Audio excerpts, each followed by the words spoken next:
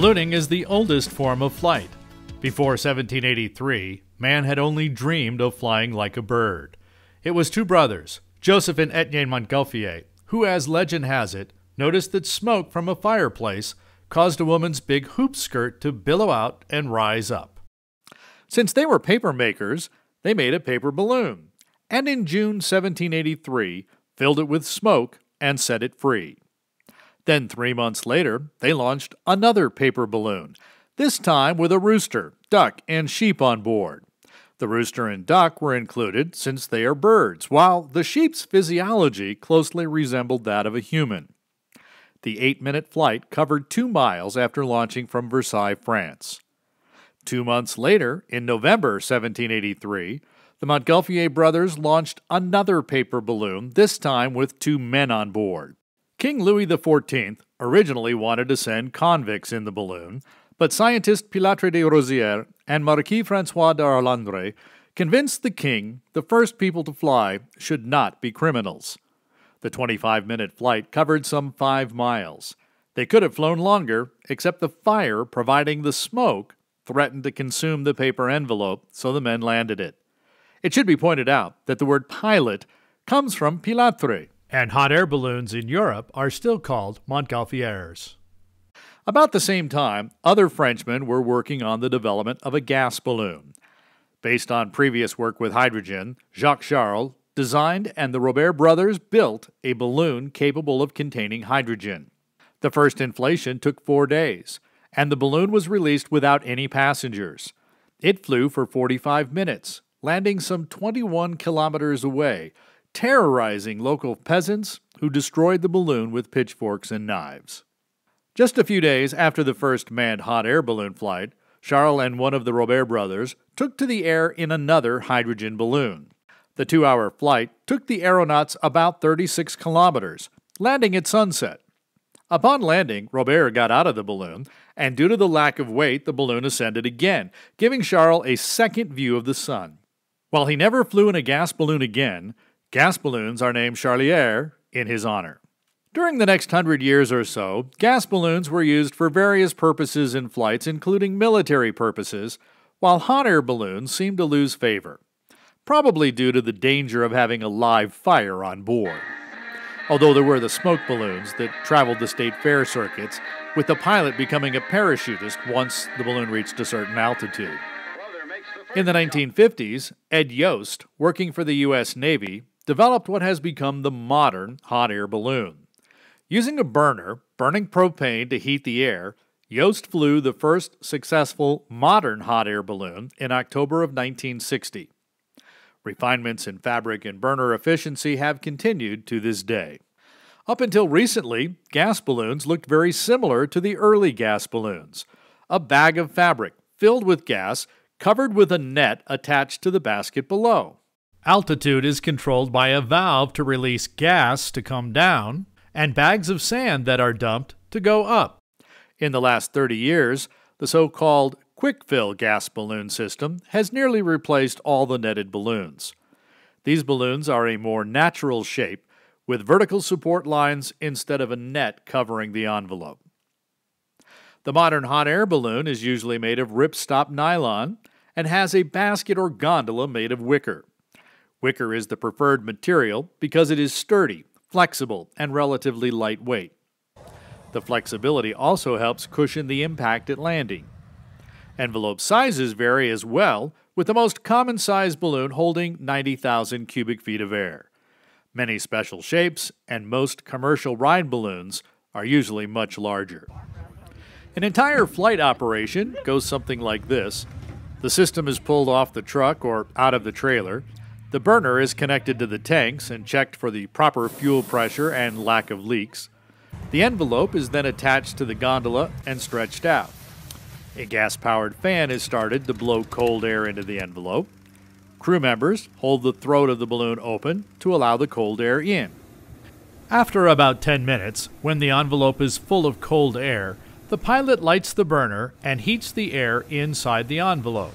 As the air heats up, it becomes lighter than the outside colder air, and the balloon begins to stand up.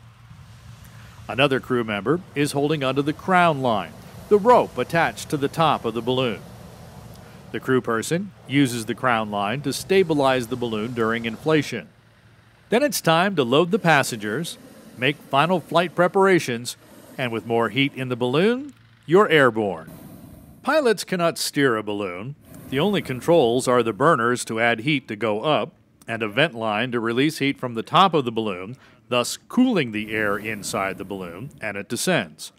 However, winds blow different directions and speeds at different altitudes. So a pilot, by controlling the altitude of the balloon, does have some control over the direction of flight.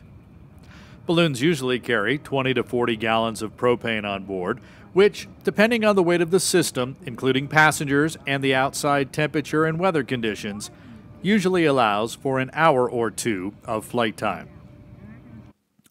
After landing, the pilot uses the vent to release the hot air, and the balloon, with the help of the crew, lays back down on the ground.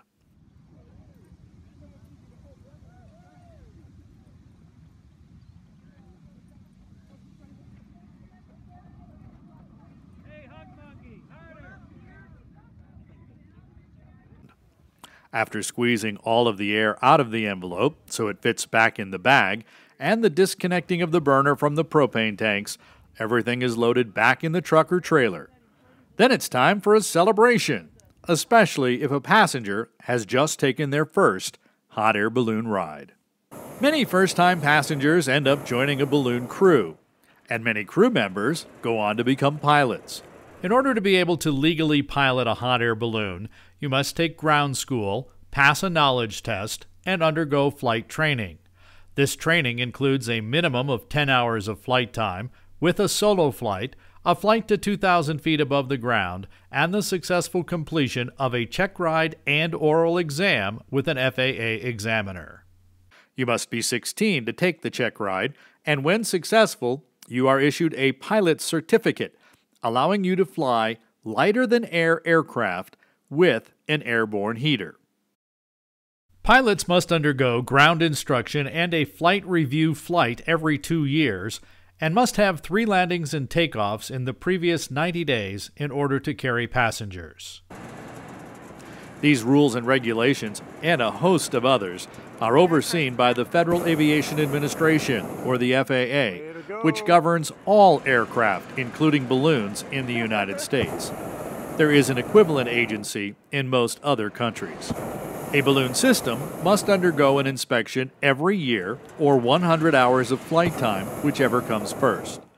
It is this inspection that determines if the balloon meets the manufacturer's specification for airworthiness.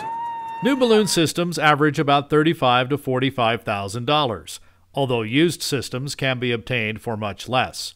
And special shape balloons can cost in the six figure range.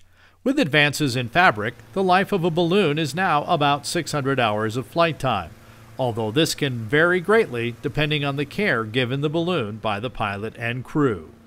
Hot air balloons tend to fly as soon after sunrise as possible. That's when the atmosphere is the most stable.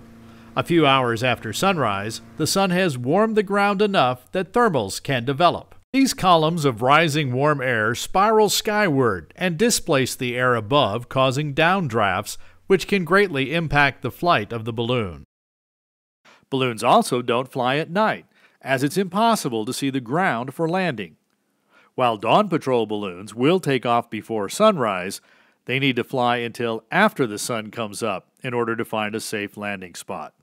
Albuquerque saw its first balloon in 1882 when Park Van Tassel inflated a coal gas balloon near 2nd and Gold as part of a 4th of July celebration.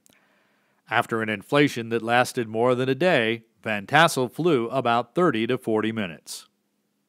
Hot air ballooning came to Albuquerque in 1971 when Sid Cutter decided he needed a hot air balloon as a decoration for his mother's World War I themed birthday party. The day after the party, Sid and his brother took the balloon for a spin. Uh, he, threw a thermos of coffee in. I said, "What are you doing?" He says, "Oh, just uh, just in case we get up there and the view's pretty, we want to have some coffee." I says, "Well, I'm I'm coming back down. We're going to go have breakfast." Well, some somehow I didn't tell the ground crew that, and so we get to the end of the rope, and they let go of the rope. Well, it started drifting towards power lines, and uh, so I had to go up. My brother started pulling in the rope so we didn't drag it across the power lines. I got to 300 feet, and so I sat down on the tank and pulled this little chain that kept the burners going, and it turned out it was one of those perfect days for ballooning. Where I The Cutter family continued to fly the balloon around Albuquerque, eventually attracting the attention of radio station KOB. And that's when the idea for the Albuquerque International Balloon Fiesta was born.